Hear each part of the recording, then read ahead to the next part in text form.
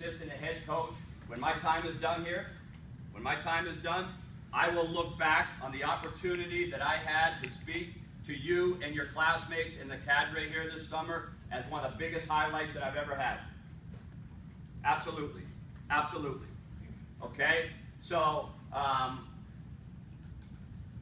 Derek Hines, I'm going to tell you who he was. I'm going to tell you how he lived. I'm going to tell you how he died. And then I'm going to tell you the qualities that he had that made him the leader he was. And you know what? All of you have those same qualities. You may not know it yet, but you have them. Just like the cadre, you guys have them. And you've been working on those, developing those for the last two, three years. Okay? Um, as the head hockey coach, I'm sure a lot of you people are thinking, all right, he's a hockey coach.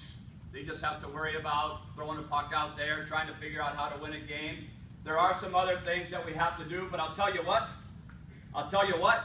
One of my most important jobs is to make sure that the legacy of Derek Hines lives on, to make sure that the legacy of Major Tom Kennedy lives on. You know why? Because they're two of my guys.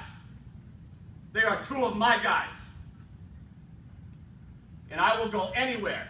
I will go anywhere to talk about them.